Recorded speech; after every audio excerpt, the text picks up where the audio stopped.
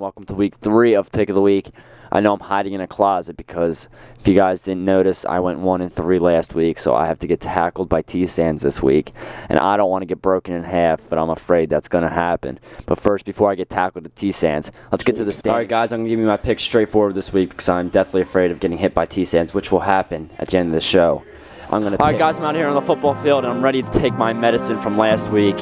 And T Sands is going to start on the 30 yard line. I'll be lined up on the 20, and he'll get a 10 yard running start on me, and hopefully I won't break my neck or break any other bones. And all right, here we go. Let's take my medicine.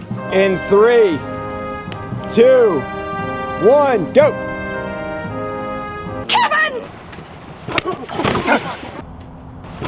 Oh my God!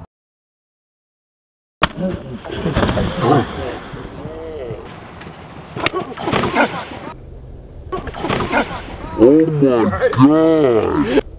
T, T says I told you not to kill him, dude. Picks. Well, guys, T Sands really put a beating on me last week, and unfortunately, I have some damage because of it. But hopefully, by the next couple of weeks, I will be all healed. But here are my picks for this week.